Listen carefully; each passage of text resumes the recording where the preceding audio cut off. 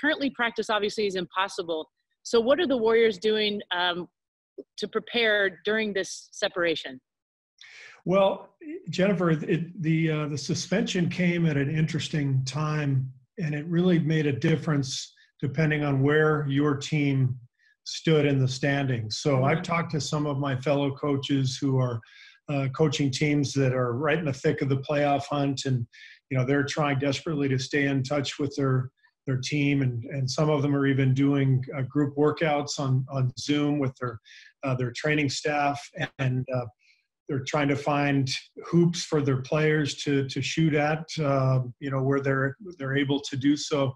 Uh, it's different for us because you know we were down to 17 games, but we were out of the playoffs, mm-hmm. and it feels like the end of the season for our team. It just it just does, and we don't know anything officially.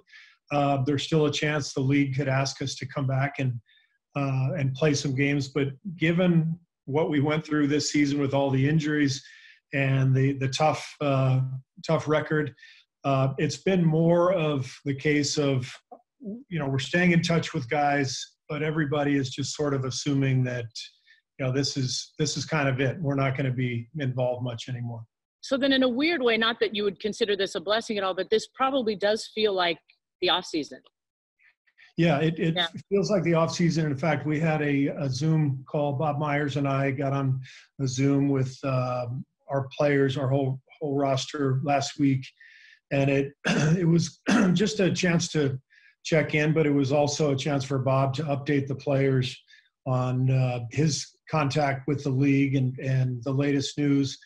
But it also kind of felt like our annual team exit meeting, yeah. and um, our coaching staff and I have been undergoing um, staff evaluations, uh, off-season plans. So we we are absolutely in in off-season mode right now. Okay.